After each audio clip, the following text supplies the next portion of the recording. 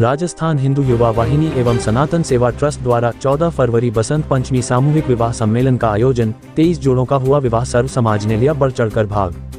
जयपुर, हिंदू युवा वाहिनी राजस्थान सनातन सेवा ट्रस्ट द्वारा 14 फरवरी बसंत पंचमी के अवसर पर विद्याधर नगर सेक्टर सात अग्रसेन पार्क के सामने मैरिज गार्डन में एक सामूहिक विवाह सम्मेलन का आयोजन किया गया, जिसमें तेईस जोड़ों का विवाह किया गया और इसमें सभी समाज के लोगों ने बढ़ चढ़कर हिस्सा लिया और बड़ी संख्या में लोगों ने पहुंचकर वर वधु का आशीर्वाद दिया।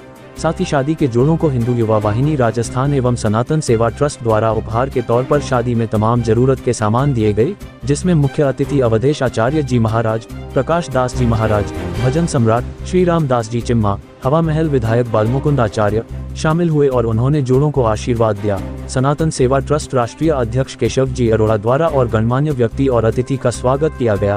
वही केशव जी ने बताया कि हमारा ये पहला सम्मेलन है और हम लोग इस तरीके के सामाजिक कार्य करते रहते हैं और अब हम घोषणा करते हैं कि हर साल बसंत पंचमी पर सभी समाज का एक सम्मेलन हुआ करेगा। सुरेंद्र सिंह राजावत, राष्ट्रीय सचिव सनातन सेवा ट्रस्ट ने कहा है, इस तरीके के सम्मेलन होने चाहिए। इस समाज के लिए बहुत अच्छी पहल है और हम लोगों को चाहिए की शादी में पैसा न खर्च करके समाज के बच्चों पर पैसा खर्च किया जाए जिससे वह बच्चे जो शिक्षा से वंचित है उन लोगों को शिक्षा दी जा सके।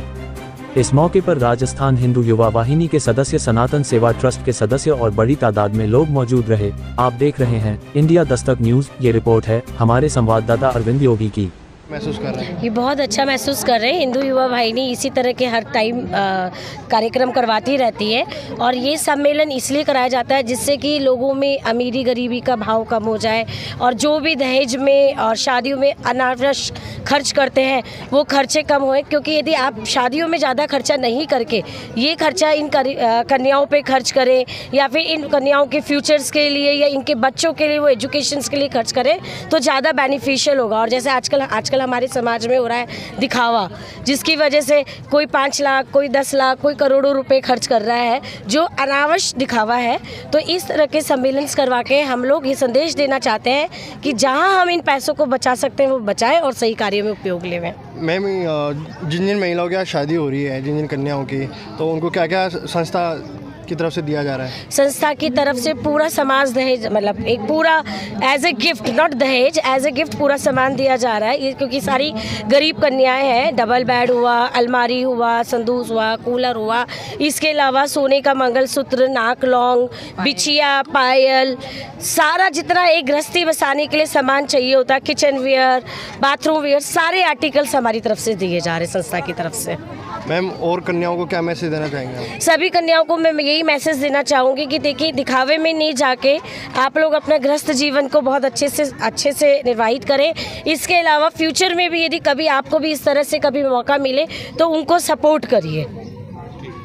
मैम बसंत पंचमी के शुभ इस अवसर पे विवाह संपन्न हो रहा है तो कैसा महसूस कर रहे हैं आप? बहुत अच्छा महसूस हो रहा है। मैं तो कहूँगी सम्मेलन जो भी है, करवाते हैं संस्था, ये बहुत अच्छा कार्यक्रम है। क्योंकि इनसे जो भी बेटी की जो शादी में पैसे लगते हैं, चार पाँच लाख से ऊपर ही जाते हैं शादी में खर्चे।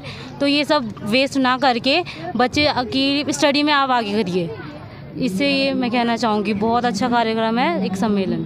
आपकी तरफ़ से मैम और स्त्रियों को महिलाओं को क्या मैसेज देना चाहूँगी? मैं तो ये भी कहूँगी कि जो भी है दिखावे में पैसा अपना वेस्ट ना करें बिल्कुल भी।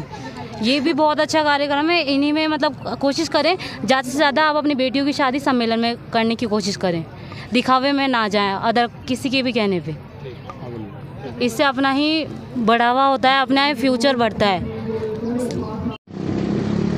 केशव जी जहाँ देखा जा रहा है आज आपने तेईस जोड़ों का विवाह संपन्न करवाया है। आज किस क्या महसूस करना चाह रहे हो और क्या मैसेज देना चाहोगे आगे समाज को? देखिए आज हमने ये सामूहिक विवाह सम्मेलन जो कराया है यह सर्व जातीय का है और सर्व जातीय विवाह सम्मेलन इसलिए कराया है हम चाहते हैं कि समाज में जाति प्रथा खत्म हो सब समाज साथ बैठकर सब कार्य करें इसलिए सर्व जातीय सम्मेलन करवाया गया है। तो इसमें इन जोड़ों से आप लोगों ने कुछ सहयोग भी लिया है? जोड़ों से नाम मात्र सहयोग लिया है। बाकी सब जो उपहार की वस्तुएँ हैं, सब संस्था द्वारा उनको दी जा रही हैं। भामा शाहों ने भी कुछ सहयोग किया है, कुछ समाज सेवी संस्थाओं ने सहयोग किया है। वो सब हम मिलकर इन जोड़ों को व्यवस्था उपलब्ध करवा रहे हैं। हमने कई बार देखा है केशव जी, आप हमेशा सामाजिक स्तरों पर काम करते रहते हैं। देखिए, हमारा जो संगठन है, ये सामाजिक संगठन है और हमने पिछले कोरोना काल में भी खूब इसमें सेवा के कार्य किए और हमारे यहाँ से काढ़ा वितरण किया गया। लंपी रोग आया तो गायों की खूब सेवा की। लगभग साठ हज़ार गाय हमारे संगठन के द्वारा ठीक हुई और ऐसे समाज सेवा के कार्य संगठन नित्य करता रहता है और अब उसी श्रृंखला में हमने यह सामूहिक विवाह सम्मेलन करवाया है। आपका पहला सम्मेलन है या पहले भी किया है आपने? सम्मेलन ये हमारा पहला है परंतु हमारे साथ सम्मेलन करवाने के लिए जो अनुभवी व्यक्ति हैं सुरेंद्र सिंह जी ये 16 साल से लगातार सम्मेलन करा रहे हैं और इनको बहुत अनुभव है इस चीज़ का। क्या है? हर साल सम्मेलन होंगे क्या है आगे? का? हर साल बसंत पंचमी का फिक्स कर दिया है जितने भी जोड़े होंगे सबका विवाह कराया जाएगा।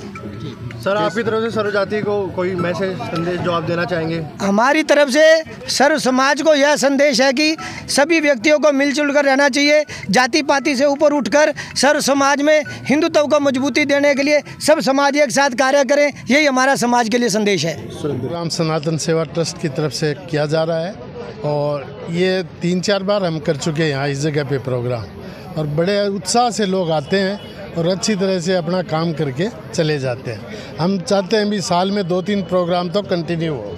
यही हमारी इच्छा है सब लोग करा के जाए। सर आपकी तरफ़ से सर समाज को क्या संदेश देना चाहेंगे? समाज को संदेश सम्मेलन को लेके। सम्मेलन को लेकर संदेश को यही देना चाहूँगा कि फिजूल खर्ची बंद हो और लिमिट में काम और सबकी शादियाँ हो जाए।